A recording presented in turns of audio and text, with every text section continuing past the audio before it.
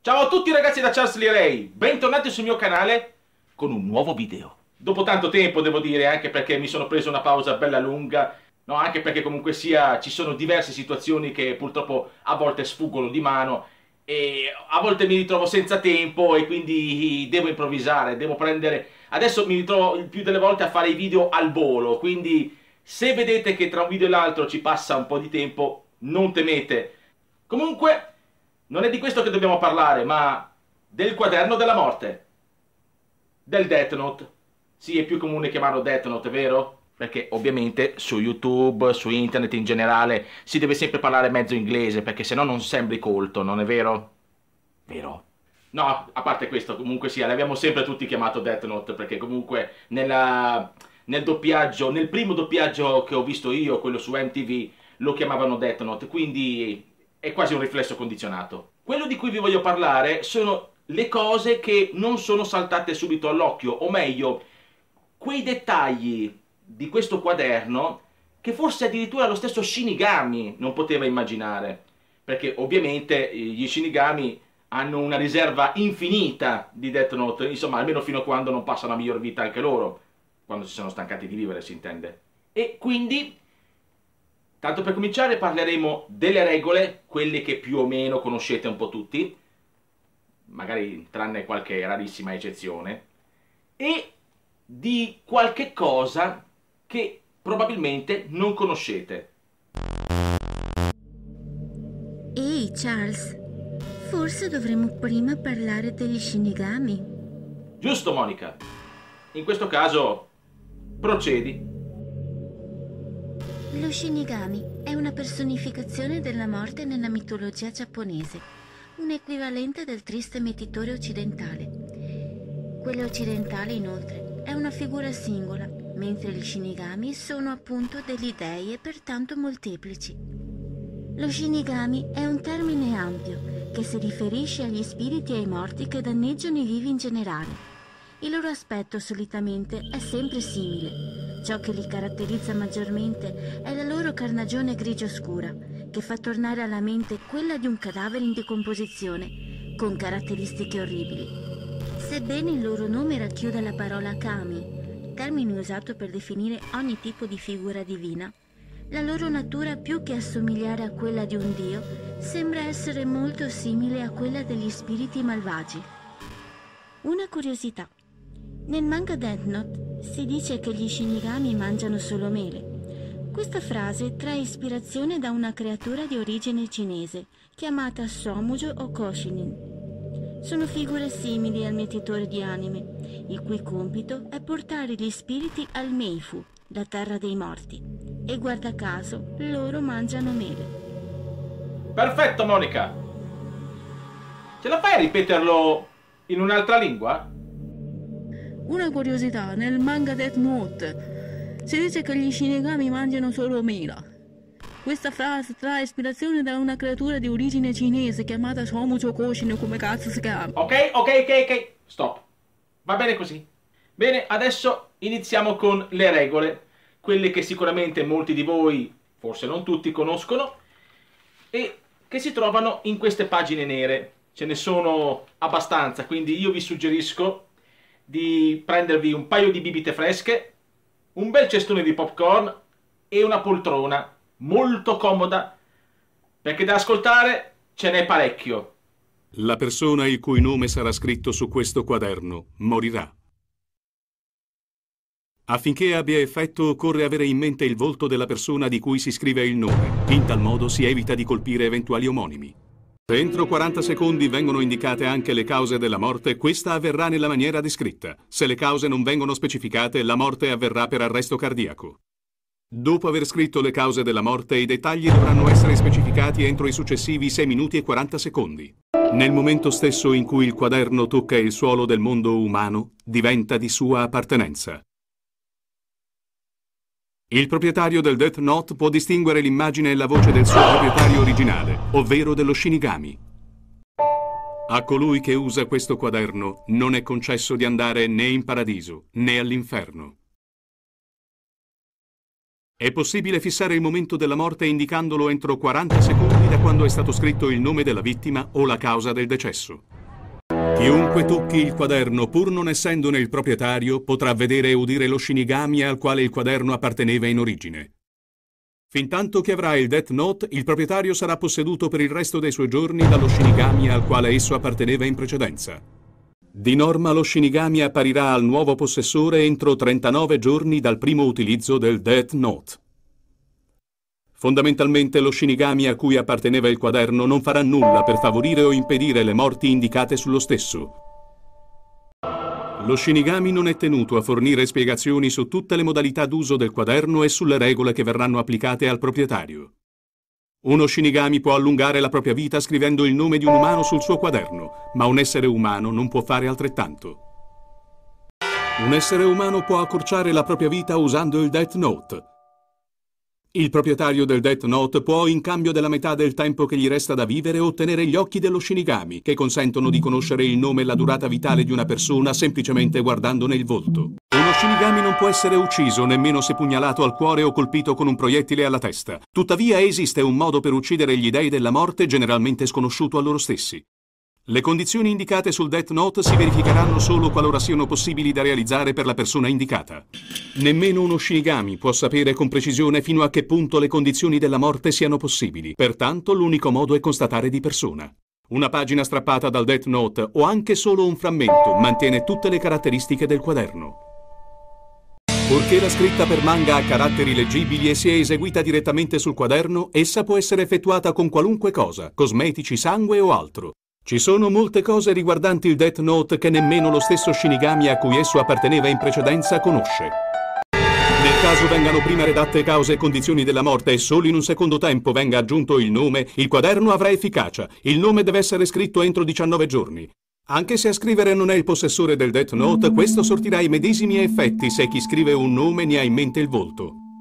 Il Death Note non sortirà alcun effetto su coloro che non hanno raggiunto 780 giorni di età. Il suicidio è una causa di morte valida. Praticamente chiunque può commettere suicidio, quindi non è considerato qualcosa di inconcepibile. Che si tratti di suicidio o di incidente, la morte della persona indicata non può causare direttamente la morte di altre persone. In tal caso la persona indicata morirà di arresto cardiaco. Anche dopo aver scritto il nome della vittima, l'ora e le condizioni della sua morte, è possibile apportare qualunque cambiamento entro 6 minuti e 40 secondi. Nel caso si apportino modifiche a quanto scritto nel Death Note entro 6 minuti e 40 secondi, occorre prima tracciare due righe sulla parte che si vuole correggere. L'ora e le condizioni della morte possono essere modificate. Tuttavia, una volta che è stato scritto il nome della vittima, la sua morte non può essere evitata in alcun modo. Chiunque smarrisca il Death Note o ne subisca il furto perderà il diritto di proprietà, a meno che non lo recuperi entro 490 giorni. Chiunque smarrisca il quaderno dopo aver fatto lo scambio degli occhi con uno Shinigami perderà, oltre ai ricordi legati al Death Note, anche il potere degli occhi. La durata della sua vita resterà comunque dimezzata. È possibile prestare il Death Note senza perderne la proprietà. Chi lo riceve potrà a sua volta prestarlo a terzi. Lo Shinigami non seguirà la persona a cui è stato prestato il Death Note, ma sarà sempre accanto al suo proprietario. Chi ha ricevuto il Death Note in prestito non può effettuare lo scambio degli occhi. Qualora il proprietario del Death Note muoia mentre questo è stato prestato ad altri, la proprietà passa a colui che lo possiede in quel momento. Qualora il Death Note venga rubato e il proprietario sia ucciso dal ladro, la proprietà del quaderno passa automaticamente a quest'ultimo. Qualora il nome di una vittima sia indicato su due o più quaderni, avrà la precedenza il quaderno su cui è stato scritto prima, indipendentemente dall'ora prevista per il decesso. Se lo stesso nome viene riportato su due Death Note con uno scarto di 6 centesimi di secondo, i due nomi verranno considerati scritti simultaneamente e la vittima designata non morirà. Ogni Shinigami deve possedere almeno un Death Note, il quale non può essere ceduto a un essere umano né è consentito che un umano vi scriva sopra. Gli Shinigami possono scambiarsi i Death Note a vicenda e scrivere sui quaderni di altri Shinigami senza problemi. Se uno Shinigami prova simpatia per un determinato individuo e usa il Death Note allo scopo di allungarne la vita, morirà immediatamente. Una volta morto, uno Shinigami scompare, ma non il suo Death Note. Esso passerà di proprietà al prossimo Shinigami che lo toccherà, ma il buonsenso vorrebbe che lo si cedesse al grande capo degli Shinigami. Nel mondo degli umani, il possessore di un Death Note deve toccare il quaderno di un altro possessore per vederne il rispettivo Shinigami e udirne la voce. Un individuo dotato degli occhi di uno Shinigami può leggere il nome e la durata vitale di una persona vedendone il volto. I possessori di un Death Note non sono più prede, bensì predatori. Pertanto, non avendo bisogno di conoscere altre durate vitali se non quelle delle proprie vittime, non possono conoscere la durata vitale di chi possiede un quaderno, inclusa la propria. Uno Shinigami non può rivelare a un essere umano i nomi e le durate vitali che può leggere grazie ai propri occhi, ciò al fine di evitare di creare confusione nel mondo degli umani. Prerequisito per un Death Note usato nel mondo umano è la volontà di uno Shinigami vivente di lasciarlo usare a un umano nel mondo degli umani. Dopodiché, sebbene ciò sia assai improbabile, se uno Shinigami che ha posseduto un essere umano morisse, il Death Note da lui portato nel mondo degli umani non perderebbe la sua efficacia. Nel caso si scriva incidente come causa della morte, senza specificare le condizioni della stessa, la vittima morirà in un incidente dopo 6 minuti e 40 secondi. Anche se le condizioni specificate per l'incidente riguardano solo la vittima designata, se esso rischia di causare un grave impatto sull'ambiente circostante e su altre persone, la vittima morrà di arresto cardiaco, in modo da non coinvolgere nessuno. La durata vitale, visibile grazie allo scambio degli occhi con uno Shinigami, corrisponde alla vita futura nel mondo degli umani, il nome visibile tramite gli occhi dello Shinigami è il nome necessario per uccidere quella determinata persona, anche qualora non dovesse corrispondere al nome con cui essa è registrata all'anagrafe. Qualora si perda la proprietà del Death Note, si diventa incapaci di riconoscere l'aspetto e la voce dello Shinigami a cui esso è legato. Se però il possessore lascia che qualcun altro tocchi il quaderno, da quel momento quella persona sarà in grado di riconoscere lo Shinigami. Di conseguenza, se un individuo che non ha il diritto di proprietà del quaderno lo tocca e vede così lo Shinigami, egli continuerà a distinguerlo, a meno che non diventi proprietario del quaderno e successivamente ne perda il possesso. Se il possessore di un Death Note scrive erroneamente un nome per quattro volte, la vittima non potrà più essere uccisa per mezzo del Death Note. Tuttavia, colui che sbaglierà intenzionalmente a scrivere un nome per quattro volte morirà. La persona il cui nome venga scritto volontariamente in modo errato per quattro volte non diventerà immune al Death Note. Una volta riacquisita la proprietà di un Death Note, ritornano i ricordi a esso relativi. Nel caso il proprietario abbia avuto a che fare con altri Death Note, riaffioreranno i ricordi relativi a ciascuno di essi. I ricordi possono tornare anche senza acquisire la proprietà del Death Note, ma essi durano soltanto finché si tocca il quaderno. Se il Death Note entra a far parte del mondo degli umani contro la volontà dello Shinigami che ne ha la proprietà, a questi sarà concesso di restare nel mondo degli umani allo scopo di recuperare il proprio quaderno. Se ci sono altri Death Note nel mondo degli umani, lo Shinigami non potrà rivelare ad alcun essere umano la loro ubicazione e l'identità dei loro proprietari. Nell'eventualità che nel mondo degli umani ci siano sette o più Death Note, avranno effetto solo i primi sei toccati dagli umani. Il settimo Death Note non avrà alcun effetto finché uno degli altri non perderà la sua efficacia finendo bruciato o distrutto, o venga preso da uno Shinigami che lo riporti nel suo mondo. Se si scrive il nome di una vittima a cavallo di pagine diverse, il Death Note non avrà alcun effetto. Ciononostante il fronte e il retro di un foglio sono considerati come una pagina sola, quindi se per esempio si scrive il nome sul davanti e il cognome sul retro, il Death Note avrà effetto. Nel mondo degli Shinigami esistono alcune copie di ciò che nel mondo degli umani verrebbe definito un manuale per l'uso sulla Terra del Death Note. Tuttavia non è concesso cedere tale manuale a un essere umano. Uno Shinigami ha il pieno diritto di leggere il manuale e rivelarne i contenuti a un essere umano, di qualunque argomento si tratti. Bene, e adesso passiamo al punto forte, quello per la quale siete qui a vedere questo video, cioè quello che neanche immaginate e che probabilmente neanche alcuni Shinigami potevano immaginare su questo quaderno. Fino adesso l'unica cosa che abbiamo capito è che con questo uccidi qualunque essere umano e anche nei modi più fantasiosi. Ovviamente ci sono dei limiti, ci sono cose comunque sia che questo quaderno non può fare, insomma non puoi cioè, se avete visto l'anime di Death Note avrete anche notato comunque sia che Yagami aveva fatto degli esperimenti su alcuni detenuti e a uno di questi ad esempio aveva scritto che sarebbe morto davanti alla Torre Eiffel, ma così non è avvenuto perché era chiuso dentro il carcere, quindi non poteva uscire liberamente e morire davanti alla Torre Eiffel. Tra l'altro poi non poteva farlo nel lasso di tempo che aveva scritto Light Yagami adesso non mi ricordo quanto era, però so soltanto che il tempo non era sufficiente. Forse se magari avesse scritto da lì a una settimana, forse poteva anche succedere. Quindi adesso passiamo a alcune curiosità prima di arrivare al pezzo forte. Allora, ci sono alcune cose che vorrei dirvi. La prima è le pagine del Death Note, ok? Ehm, quando uno ci scrive sopra, consuma la pagina e di conseguenza devi passare alla pagina successiva. Sembra che vi sto prendendo per il culo, ma non è così, aspettate. Quello che mi chiedo io, ma se una persona invece di scrivere con una biro scrivesse con una matita?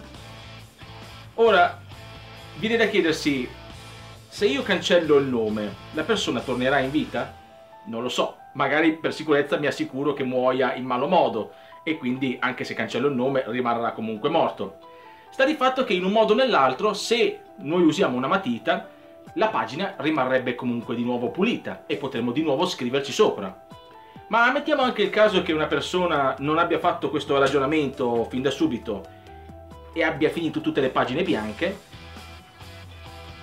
ci sono anche le pagine nere.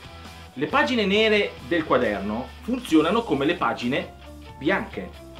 È sufficiente scriverci sopra con eh, qualcosa comunque sia che vada in contrasto con il nero, tipo un bianchetto o un pastello bianco. E anche in quel caso il quaderno avrà efficacia. E adesso io vi chiedo, questo qui può non soltanto uccidere, ma può anche manipolare gli eventi precedenti la morte. Quindi, se io lo utilizzassi in un modo un po' particolare, ci avete mai pensato che invece di morire subito potrei magari scegliere esattamente quando morire? E di conseguenza allungarmi la vita? Se io per esempio scrivessi sul Death Note, non lo so, che io morirò, non lo so, all'età di 120 anni, adesso ve la faccio proprio, ve la butto proprio lì, e magari anche scegliendo il luogo, magari scegliendo anche un luogo che mi piace, no? E magari, non lo so, morire pacificamente nel sonno, io praticamente mi sarei assicurato 120 anni di vita puliti puliti senza correre rischi. Saprei anche che se io andassi a compiere magari, non lo so, imprese magari pericolose, la mia morte è già scritta sul Death Note quindi di conseguenza io qualunque cosa faccio, il Death Note si assicurerà che io arrivi vivo fino al giorno della mia morte. Sì, eh, è una cosa un po' curiosa, però ascoltando tutte le regole, ce ne sono alcune che vanno un po' in contraddizione le une con le altre, ma sostanzialmente, come vi ho già detto, ci sono cose che perfino lo Shinigami non sa. E di conseguenza, in questo modo si inganna un po', diciamo, il Death Note perché tu sì hai scritto il nome di una persona eh, per farla morire, ma se tu scrivi anche quando, il Death Note la può far morire soltanto quando scadrà il suo tempo. Se voi scrivete una data, cioè la data di quando quella persona deve morire, sarà allora che quella persona morirà di arresto cardiaco o di una qualunque morte, voi sceglierete. Quindi il Death Note, se usato con intelligenza, può anche allungare la vita, fra parentesi, o comunque assicurarvi una vita lunga e fino a quando volete voi. Ovviamente cercate sempre di essere ovviamente scrupolosi. Sappiamo che l'essere umano può vivere oltre i 100 anni, ma non cominciate a scrivere magari, non lo so, tipo 300, 400 anni perché non so, non credo esistano esseri umani che vivano così a lungo. Cioè, ovviamente questa cosa non credo che possa valere per noi comuni mortali, ma magari per qualcuno magari che è impaccato di soldi può rimanere anche attaccata a una macchina e continuare a vivere anche se praticamente è un vegetale, ma quella non la chiamerei vita. Quindi io quando parlo di vita parlo di vita di fatto, cioè nel senso che una persona può ancora insomma compiere azioni, può ancora farsi anche tipo anche solo una passeggiata nel parco, ma comunque sta ancora vivendo. E quindi fino a quell'età lì, diciamo, è ancora possibile. Ci tengo poi comunque a dirvi un'ultima cosa. Insomma, è una piccola raccomandazione per quelli che magari potrebbero pensare di usufruirne. È una cosa che era già presente nelle regole, ma è giusto tenerla a mente. Per gli umani che hanno utilizzato il quaderno della morte, non esiste né il paradiso né l'inferno. Tutto qui. Chiaro? Bene, eh, prima di lasciarvi vi vorrei mostrare qualche, qualche piccolo extra, diciamo, per non lasciarvi così, insomma, c'è stato già molto, però non voglio limitarmi solo a questo, vi voglio mostrare un paio di cose. La prima cosa che voglio mostrarvi è questa. È una penna di uno Shinigami per scrivere sul Death Note. Questa è la borsa di L. E, insomma, non possono mancare anche questi. Questi, che adesso vi mostro, sono dei dischi. Qui dentro c'è la colonna sonora dell'anime. E qua c'è anche un libricino illustrato. Stessa cosa vale anche per questo, che è del film numero 2. Vedete qua c'è il disco e c'è il libricino illustrato incorporato. Bene, e con questo vi saluto. Scusate se tra un video e l'altro a volte ci passa un po' di tempo, però eh, ognuno ha i suoi problemi, non posso dirvi altro per adesso. L'unica cosa che posso dirvi è che cercherò magari di fare anche qualche video breve, magari per riempire i tempi morti, in modo che così magari se ci riesco cerco comunque di non far passare un altro mese tra un video e l'altro, insomma, però farò quello che posso, raga. Di più non posso promettervi.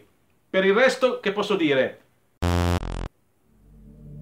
Ah, scusate, è vero, mi stavo per dimenticare. Grazie Monica per il tuo aiuto, sei sempre molto preziosa.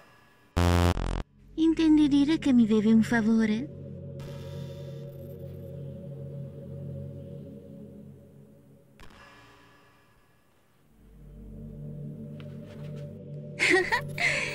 Sarà per un'altra volta.